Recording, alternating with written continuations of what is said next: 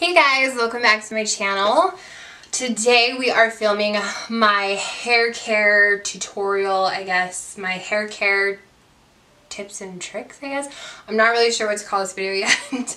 um, basically, I'm just going to go over what I've done to help my hair grow um, over the years and just some things that I've realized work better uh, for me. So if you want to see how I went from ratchet ass hair to longer, a little bit longer, um, getting their Rapunzel hair, just kidding, it's not Rapunzel, but getting longer hair, then just keep watching this video. So let's jump right into the video. Mm, mm, mm, okay, I'm a little too hyper. It's like 11 o'clock at night and I'm filming this, and so we're gonna hope my energy stays throughout the video. Before I get into the products, I guess I should probably tell you guys a little bit more about my hair and kind of just my journey with my hair um, and why it got so fucked up. So, story time. So if you hate talking videos and you hate when people chat too much, you might want to fast forward through this. I'm sorry, but I have to say this story because it's hilarious and it's the reason why my hair has had such a hard motherfucking time growing to where it needs to grow. I've always had long hair growing up. I had like seriously hair down to my butt and the first time it was ruined was by my mother. Sweet old dear old mom. She um, actually claims that, why am I so winded? I'm out of shape. Holy shit. Okay. It was by my mom.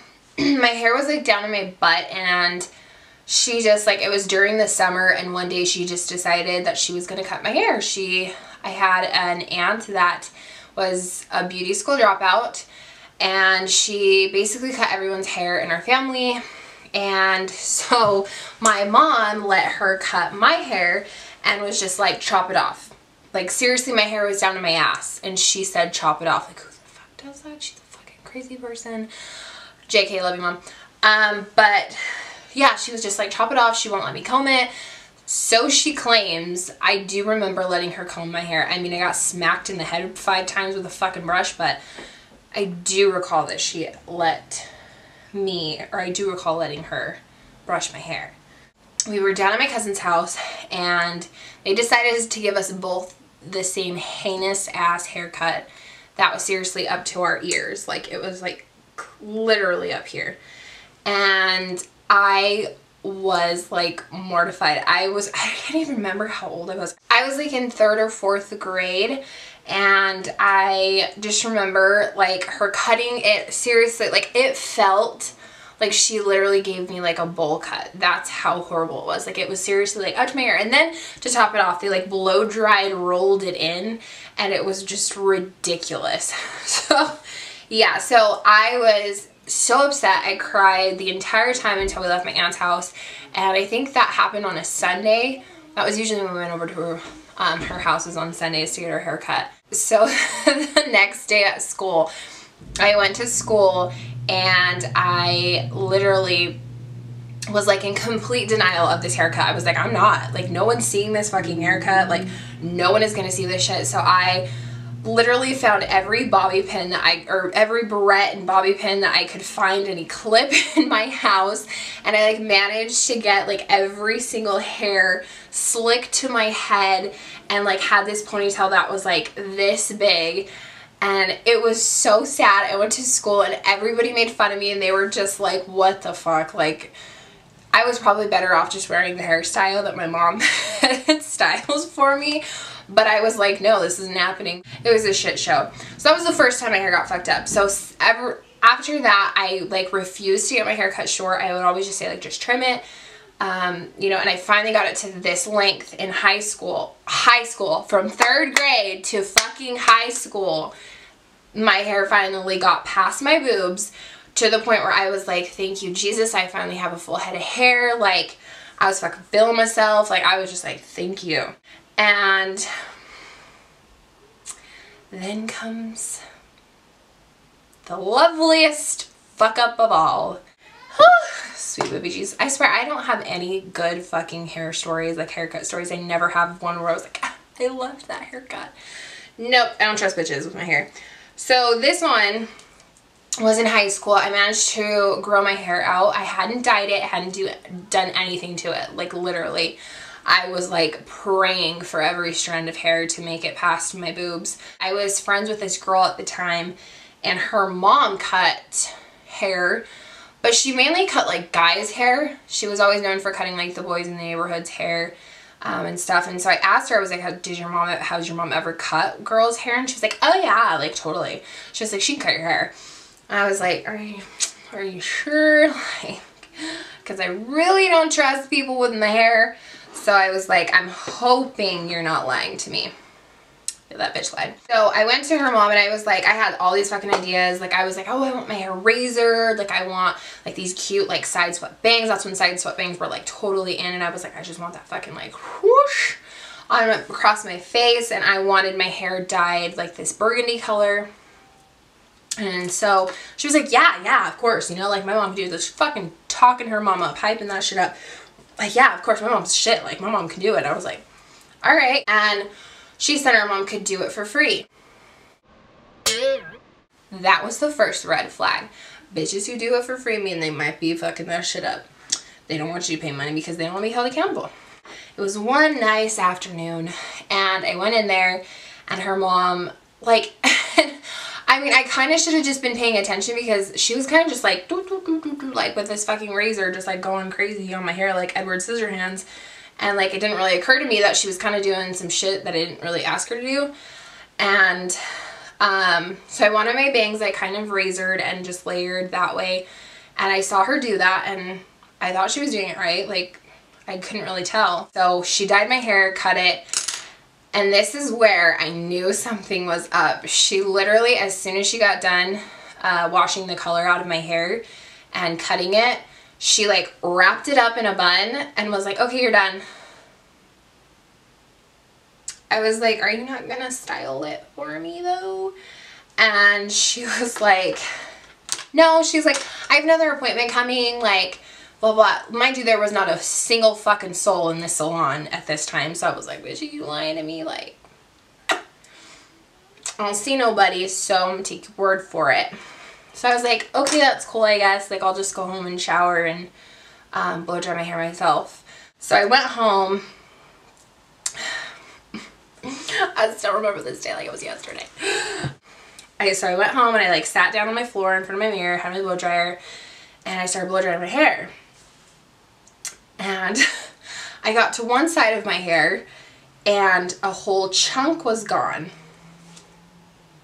And I was like, okay, I know I told this bitch to razor my hair, but I didn't mean like cut it off. So like this part of my hair was just like, like there was a whole section just chopped off. And I was just like, what the fuck? So I kept going through and I kept blow drying more and I look at my bangs. I had told her to side sweep my bangs this way. She literally cut from here up and then did it this way. Like almost like she did it backwards. But then this side had short pieces too. And so it was just like this. Like it was like a V bang. And I was like, I was like shaking and then I just started bawling. I was like, oh my god, my hair. Like I was so upset. I was like, this bitch fucked up my hair. Like I was so mad. I was living with my friend's um, family at the time and I like run downstairs to her mom and I'm like, she ruined my hair. It's all hacked off. And it was terrible. And so, long story short, I ended up having to cut all of my hair off. Um, I had like the world's shortest A-line. I will try to insert a picture for you. But I had the shortest A-line. I had to wear my bangs in this little twisty for like, God, I feel like it was like two years before they actually grew to something that was like acceptable. It was a sad case. But I was on the cheer team at that time and everybody had an A-line, so it was like I kind of fit in, but I didn't want to fit in. I wanted to just fucking have long hair, but she fucked it up, so I couldn't do that anymore. So yeah, I had to wear this ugly ass A-line forever, and my hair grew out so retardedly because like the longer the layers in the front were growing first and then the ones in the back growing second. So I always had to touch up my A-line. Like I, it, there's just, it's a weird grow out. So it was like super hard for um, me to accept the fact that my hair was growing in uneven. So I started wearing extensions and I, that was my sophomore year in high school. And I had worn extensions seriously up until, up until recently. Yeah, I always wore extensions. I never wore my natural hair unless it was like in a bun to the store. Um, but I was super self-conscious of my hair and I always wore extensions. So yeah, that's my story. So I finally, it wasn't until, I think after I had my daughter, a little bit after my, I had my daughter, I realized that my hair like wasn't growing because of my extensions because I wore them all the time. I wasn't that girl who was like, oh, just take them off when I get home and just wear my natural hair at home. Like I fucking slept in those motherfuckers. They were like ride or die. So that's when my hair didn't grow with extensions and they were clip-ins. So they were constantly tugging at my hair. So my tip to you, if you wear extensions, make sure you take them out when they're not really needed. If you're just at home, I mean, I know you probably, if you live in with your man, you try to look fine all the time. You have two choices. You either be a bald bitch or just take that shit out. It's your choice. So now fast forward to after prenatals, after um, pregnancy two, I am on pregnancy number two now and just some different techniques and stuff that I've used to help my hair grow and we are finally here. You can't really tell because I'm not all the way in frame, but my hair is finally grown. It is past my boobs, thank you Jesus.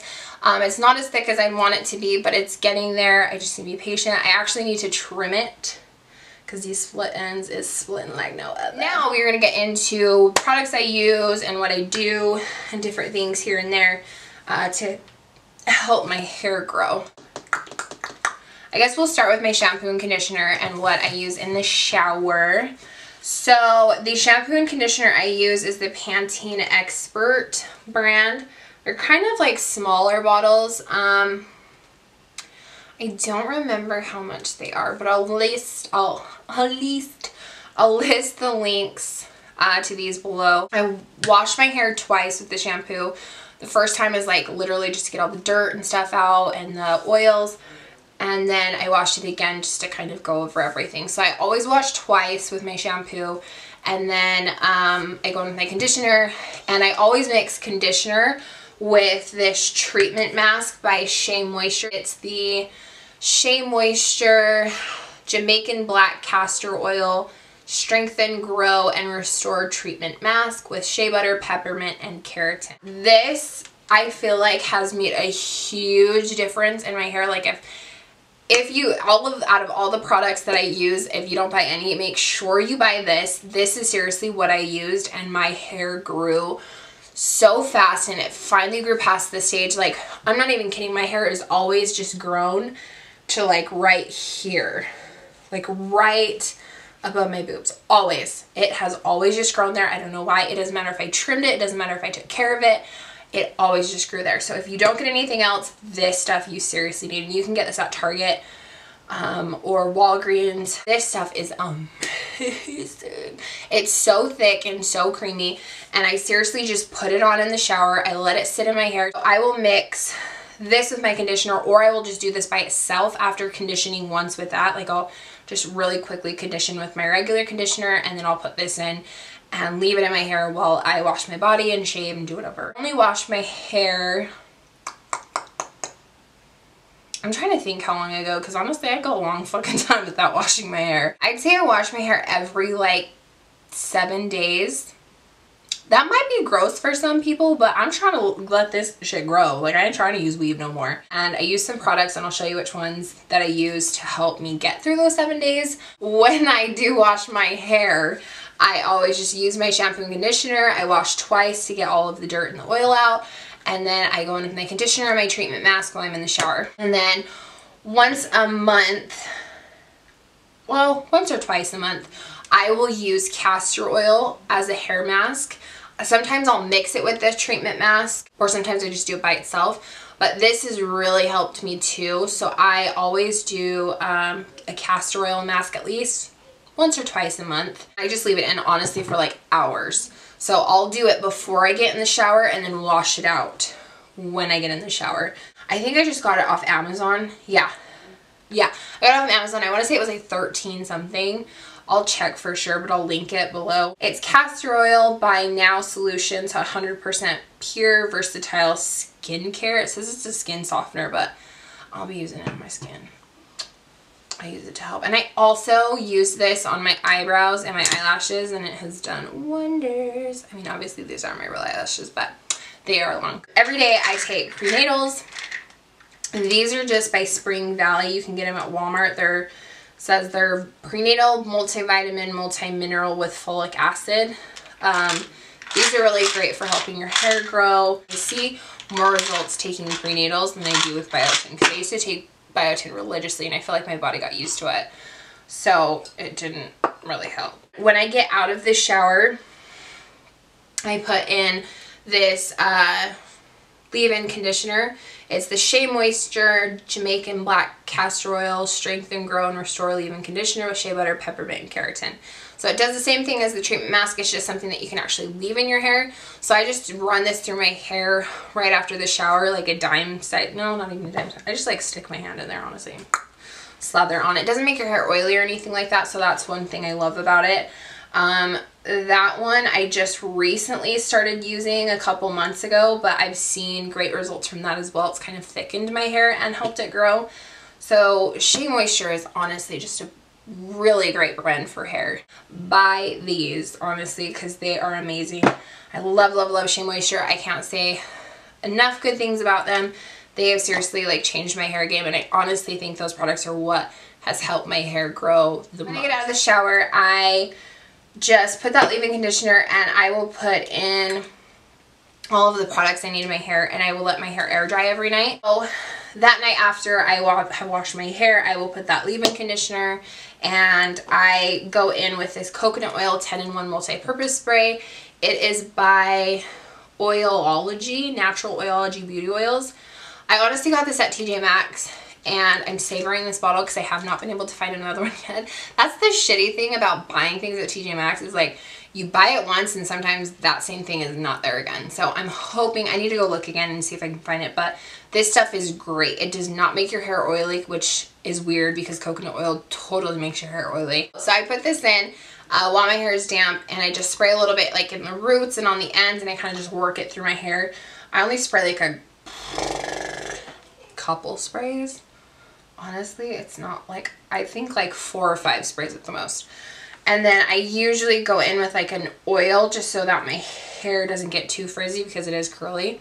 Um, and I use this Matrix uh, Biolage Exquisite Oil. I rub this on damp hair after the shower and I just use like a dime amount. I just put a little in my hair flip my hair over, rub it through, and get really in the ends so that my ends don't dry out and then I will let my hair air dry overnight and then all of my heat styling I do in the morning. So tip for curly hair, you always want to blow dry your hair before you straighten it.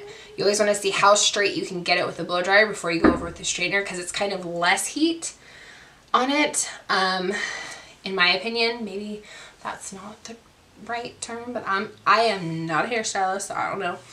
But I feel like it doesn't damage my hair as much when I blow dry it first and then straighten it. So yeah, I will do all of my heat treatments the morning after I let my hair air dry and then I only do it that day. So if I'm to curl my hair, then I curl my hair. If I'm to straighten my hair, then I'm to straighten my hair. And I do just different hairstyles to get through those seven days. So usually I'll do curls the first day. Like my big heat treat, my big heat hairstyles will be on the first day. And then everything after that is usually like braids or ponytails or buns. I'm a pro at the messy bun. Um, I always do it. And then to get myself through those seven days, I just use a dry shampoo.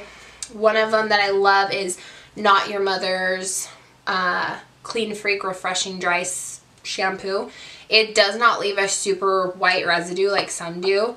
Um, so I seriously can spray like a shit ton of my hair and it won't turn my hair white. So that's one thing I love about it. So I like the Not Your Mother's and then I also like the Batiste Dry Shampoo because it has a tint to it.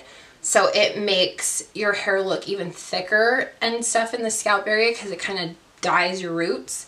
So I really like this one as well. This one's I think a little bit more expensive though than the Not Your Mother's. So just depends on what your preference is. But I like them both and I think they both work amazing. And occasionally I will do a coconut oil mask. Um, I use the Viva Labs Organic Extra Virgin Coconut Oil. This I do every just now and then, just when I'm feeling it, because honestly, coconut oil is so oily in your hair. It does help, but it just is a bitch because it's so oily. And so I hate having to work it out of my hair and to wash it out and stuff. So if I do get out of the shower, sometimes I'll put like a tiny little amount in my ends of my hair just to help them grow out a little bit more. Um, but yeah.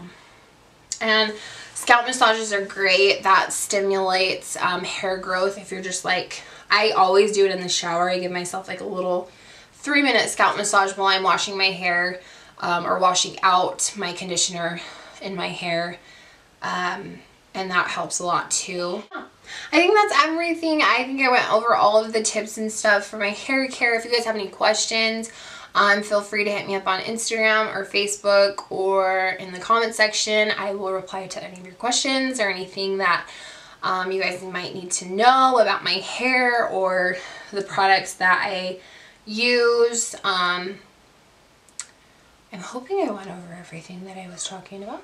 I don't know if you can tell, but like that's how long my hair is. So yeah, it has gotten to a length where I can actually leave it out, down, and not in a bun and ponytail and kind of hide it away from everybody. So yeah.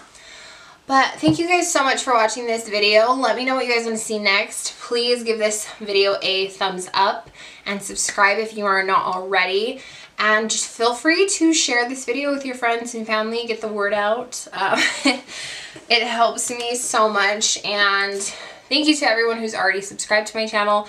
You guys have no idea how much it means to me to know that there's people out there who are actually watching these. Um, it does take time to edit these and so when somebody actually like watches your work, it's seriously, it's just heartwarming and it's amazing. So I'm truly grateful for anybody that, you know, is subscribed to my channel. I don't have a lot. I'm not like super popular um, yet, but but uh, we are getting there and I, you know, I want to cater to whatever you guys want to see. So please just let me know, you know, on any one of my social media platforms. Let me know what you guys want to see. Even if it's your one person that wants to see some random ass video, tell me and I will film it. I have no problem filming random videos. So yeah, I hope you guys enjoyed this video. Thank you so much for watching. I don't think I have anything else to say. I love you. I will see you guys in my next video. Bye.